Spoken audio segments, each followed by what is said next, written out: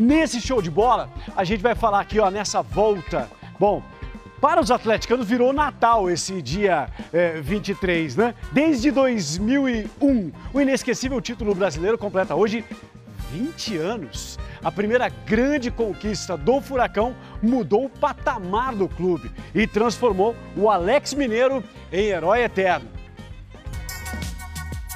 20 anos de um título sempre vivo e fresco na memória do torcedor do Atlético. Conquistar o Brasil e pintar o território nacional de vermelho e preto em 2001 foi a porta aberta pelo Furacão para alcançar o ápice. Um sonho nunca esquecido. Acho que isso para o torcedor trouxe um orgulho muito grande. Naquele ano de 2001, botou uma estrela né, no peito, que ele não tinha, o grande rival tinha e ele não. Então, a partir daí, o, o, torcedor também passou a crescer, passou a ter outro respeito, passou a encarar o seu time como realmente um time grande, com aquilo que o Atlético merece. Lá se foram 20 anos de um domingo mágico que o torcedor rubro-negro guarda na memória com carinho. Uma caixinha embrulhada por um Papai Noel que lá em 2001 presenteou os atleticanos com muitos gols. As finais que foram jogos decisivos, onde eu tive a oportunidade de fazer oito gols em quatro jogos, né? E assim conquistando o título de campeão brasileiro, que nos deixa muito feliz com esse feito.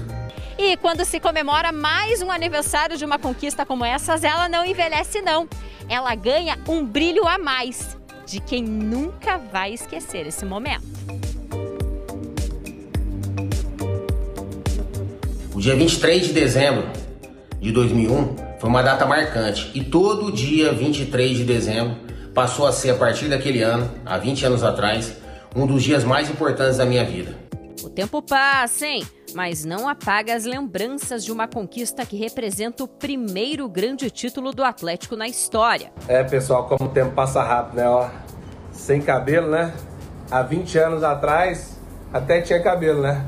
Campeão brasileiro 2001. Então, mais um ano de muita festa.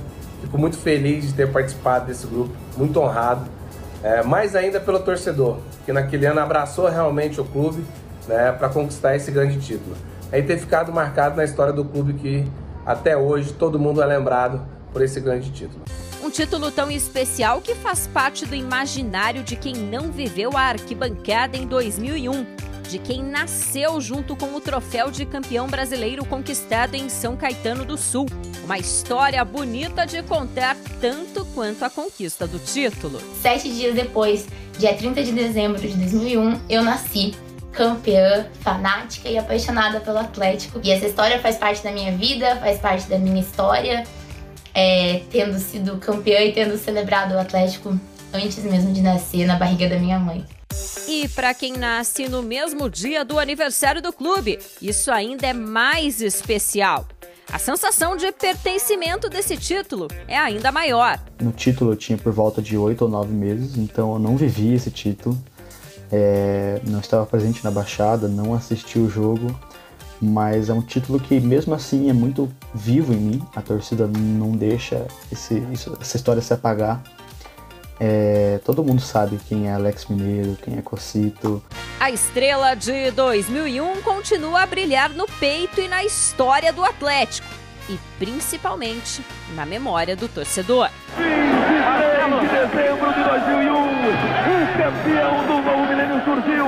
O Atlético é campeão do Brasil. Muito legal, muito legal. Ô Alice, fazemos aniversário no mesmo dia então. Que bacana, parabéns para vocês, atleticanos. E é também meu aniversário porque eu comecei a trabalhar com o esporte exatamente em agosto de 2001, quando começava a campanha do Campeonato Brasileiro. Então começamos junto com o Atlético e estamos aí também completando aniversário. Daqui a pouco tem atualização ao vivo aqui do mercado. Tem jogador do Atlético que já está no Grêmio, está indo para lá. A Monique Vilar já conta pra gente.